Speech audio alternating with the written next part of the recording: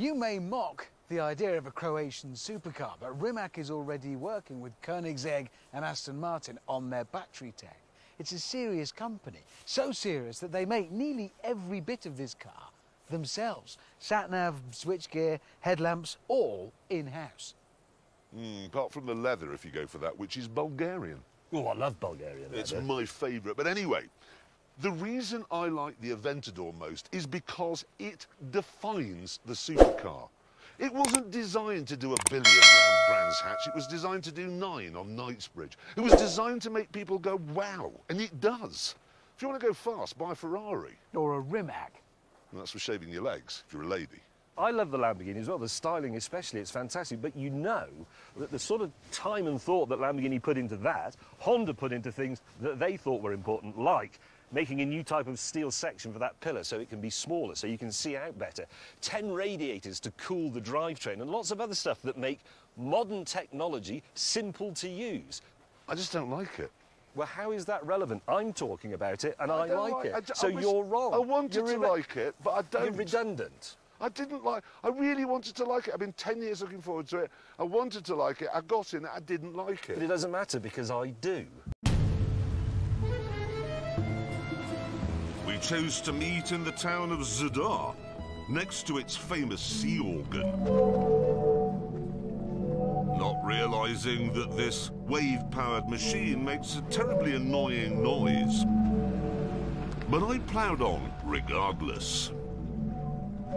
This is an Audi TT RS, four-wheel drive, five-cylinder, turbocharged, two and a half litre engine, 0 to 60, three and a half seconds. Really, you can think of it as a Nissan GTR in a Bauhaus baby grow suit. No, that doesn't work. Hang on. Sorry, I normally think normally think of this before I get here. Hang on, it's a it's a GTR with a well-groomed scrotum. No, that's Before I'd had chance to come up with the right words, Richard Hammond arrived in an Ariel Nomad. This is an Ariel Nomad. I know, I've already said that in voiceover. Why, why didn't you bring a Porsche? You could have brought that Porsche. What is it? The, the new one. No, the, the one that was the Boxster that is now the 971. Uh, the, seven, the 718. Yes, that. Why didn't Yes, you bring that? Because I brought this. Nobody's going to say, shall I buy an Audi or some scaffolding? I grant you, it's no, because they're both What? Cars. Are they the same price? No. Do they have the same performance? No. Are they for the same thing? No. As we argued about our mismatched cars, James arrived in an even more mismatched Lada Riva. Well, that's not going to work, is it? I mean, This is a Lada Riva. We know, we've already said. I'm talking to the viewers. No, but they already know, don't they? I said it in voiceover. Get on You haven't said voiceover yet. I did. no, he has. He's done I've voiceover. done he said mine in voiceover as well. This is whatever Jeremy said it was, and I paid just £800, which leaves me £1,200 for the all-important modifications, and that is plenty. Hey? What modifications? The modifications to turn it into a fire engine. We're going to turn them into fire engines. Who said anything about? I'm not... Well, You've got to turn your car into a fire engine using the money you haven't spent out of the budget on the car. I've oh, I've spent just borrowed it 800 from- I I've just spend borrowed anything that from on. Audi. Exactly. I made a phone call. Can I borrow a Nomad? Well, if you don't turn it into a fire engine, you won't win the competition, will Not in the competition as- to turn You it are in the it's not- competition. Well, James, we have tried time and again to think of a way that you could turn something into an amusing fire engine. Mm-hmm. It can't be done. The fire engine already exists. It's brilliant. Yes. It's already more compact than you'd expect, faster than you'd expect. You can fit the firemen in it and And the the water. And they work very well. Exactly. That's the challenge. You're only saying you're not going to turn that into a fire engine because it's an air hostess car. It is not. Have you checked the boot to make sure the luggage hasn't moved during the journey? Then our unscripted film got even more unscripted. Care that he's going I'm selfie. Um, well, Okay. That's really up to you if it's a selfie. I mean, If I, a bit if I do awkward, it, I'll though, get us 'cause all in. we're- I'm, I'm better at this. I can Well, get, no, if you but flip the screen, I can get everybody in. could, could it maybe wait? Flip the screen. There you go. Real. Come on, let's uh, do whatever we're doing. Doors to manual. cross check. Okay. No air hostess jokes. Is that seat back upright? Where are we going? Well, let's just go. This is the point at which we, we set off. We always do that. Chat, chat, chat. There'll be a line Chat, of chat, chat. voiceover. Okay. I'll put some voiceover in that says, hang on, it'll say, Since we weren't able to decide what we were doing, we all went in different directions. Okay.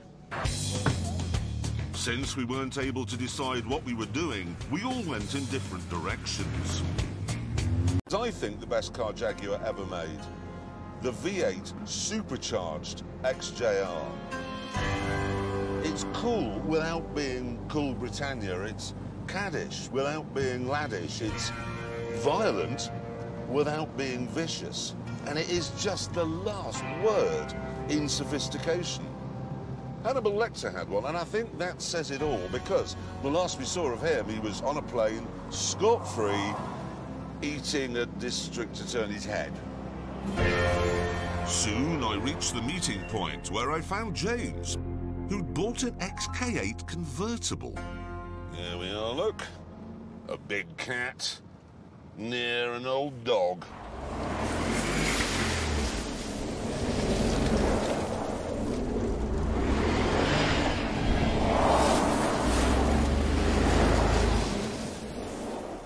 Greetings, mate. Moron. It's not a Subaru. You're supposed to be upholding the reputation of the Jag driver. Why have you bought that?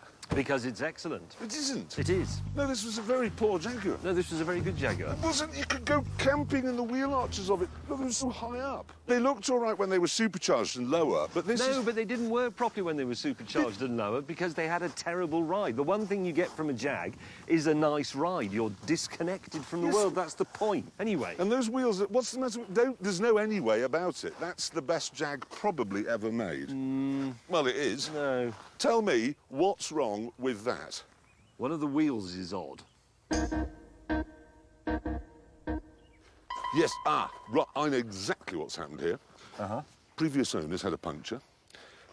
He simply borrowed a wheel from another car to use. And he's going to give it back. Of course he is. Yeah, Because he drives a Jag. Exactly. And look in here. It looks as if there's been a knife fight in the car. That's because he went to stay with some friends, obviously, thought I'll borrow their cutlery, mm. tucked it into his trousers, and then he's cut his seat. That's see. what's happened. At this point, Mr. Hammond hoved into view. God, is that a Mark 10? That is a Mark 10. That's a, that's a properly villainous Jag. That is a proper Jag. Jag, oh yes. Whatever you do, okay, do not tell him that. No, no. Hammond, you idiot. What?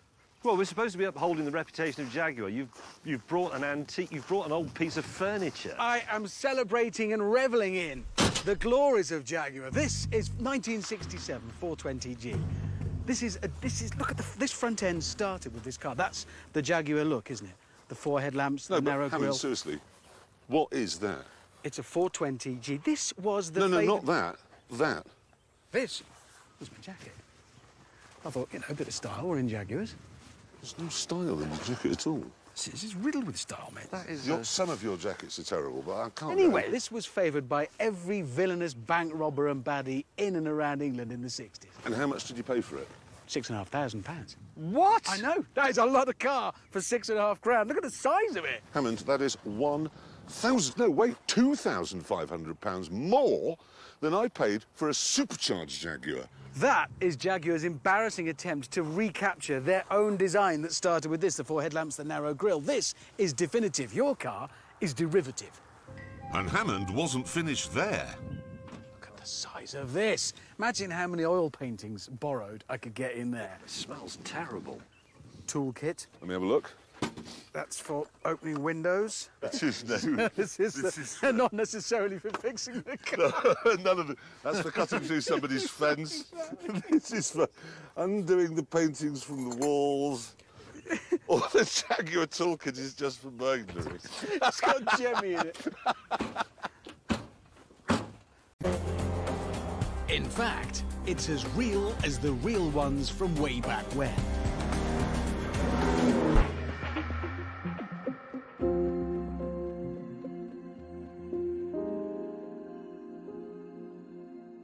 The chassis is made from a special steel called Reynolds 531. It's what they originally used to build the World War II Spitfire, and it's light, only weighs 39 kilograms. And then there's the body. The tooling and the technical drawings were all destroyed in the fire. so they had to scan an original from 1957 and then work backwards from that to make it in incredible detail, right down to the rivets, every one, the number and the position is as it was. And there's over 2,000 of them. But it was the engine that was the trickiest bit. The plans for that weren't destroyed in the fire, but I got a copy of them here. But there was a page missing. So they had to get an original engine and saw it in half to find out how it worked. No one has ever made a car like this before. It's a world first. So it's small wonder it's priced at just over one million pounds.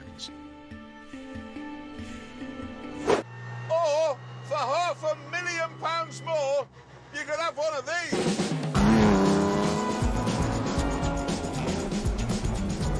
It's an Aston Martin DB4 GT lightweight.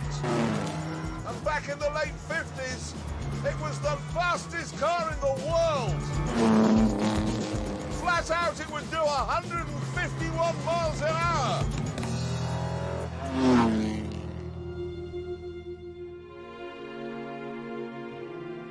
But this is not from the late 50s.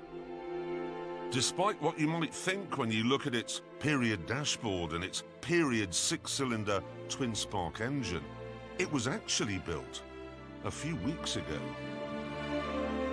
So, like Hammond's Jag, it's an old car that's brand spanking new.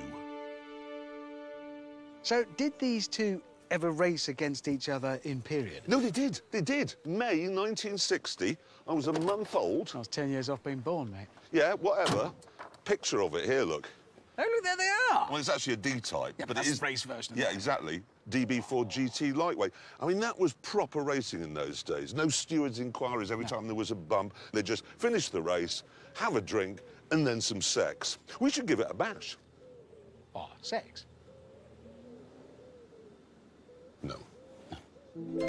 Oh, I'd love one. Well, I'd, ra- I'd rather have that than one of those. Is that the new Honda Civic Type The R? The new, new one, and it is hideous. It looks- is, honestly. It's worse than the last one. It's awful. I, do- I mean, the original 90s Civic Oh, Type good. R was brilliant, but that is disgusting. It's revolting, is what it is. Mind you, it's not as revolting What? as what's just got out of it. Oh, God. Why are you here? I'm here because I heard that you two were talking complete rubbish. You don't buy an old black and white television set. You don't buy a Bakelite telephone. Why would you buy an old car? Because they're New stylish. No, new stuff is better than old stuff. I've explained this to you before. The world now is better than it was just one minute ago. No, it isn't, because a minute ago you weren't here. Yeah, that's true, and neither was that thing, and I do hate it. It is. That's one of the most revolting cars I've ever seen. You see, that's amazing. You're both talking rubbish again. To prove it, I suggested we take our cars for a simple evening drive. Be driving round it in this, the new Alfa Romeo Stelvio. There is no way in hell that I would buy one of these because the saloon on which it's based is faster, cheaper, more economical, and nicer to drive. But if I had to have an SUV, this is what I'd choose. At this point, May arrived in the supercharged V6 Range Rover Velar. Well, you've done that wrong.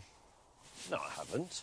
Mm. Look, in the first season of the Grand Tour, we did a big test of three large off-roaders. Yep. You had a Range Rover, and you went, you'd be mad not to have a Range Rover. The Range Rover's literally the best, so you can't now stand there and say that it isn't. What I meant when I said you'd got it wrong, well, I meant two things. One, you picked the wrong one, you should have had an Alfa. And two, it's the wrong colour. I saw one of those in London the other day, and it was silver, and it's one of the best-looking cars I've ever seen. It is a very good-looking car, yes, I agree. Really good looking. That's just hideous. That looks like it's got a glove box full of K and MDF and... What, building materials? No, not M. What do I mean? What is it? I'm gonna...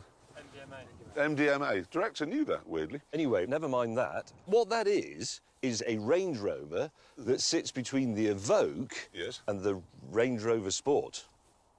I thought the Disco sat there. Now, that sits over to one side. No, the Discovery Sport sits between the Evoque And the Range Rover. No, wait. No, the Discovery Sport. No, hang on. You've got No, Evoque. Yes. Discovery Sport off to one side. No, it isn't. Yes, it is. Why is it? Because that's the serious off-roady bit, not the It's luxury not off-roady bit. serious. Before we had a chance to get to the bottom of Land Rover's very complicated lineup, Richard Hammond arrived in a Porsche Macan. Wow, Hammond, that is modern. Yeah, that's where you're wrong. He's making a habit of that. This is the new Porsche Macan Turbo Performance Pack. You get 40 horsepower more than the standard turbo, so it makes 434 of them in total. I'm sorry. 434. Yeah, in there, yes. And you managed to make it move. Why? 505. Italian horses. Which, let's face it, a flock of Italian horses could go from Shire to Shetland. These are German horses. They're How many talks? 442. 443. All right, one more. Well, it's too many for a car on stilts. This isn't. It's It's- very look high, at that, isn't it? What do you mean? Of course it's high. It looks like somebody startled it. It's an SUV.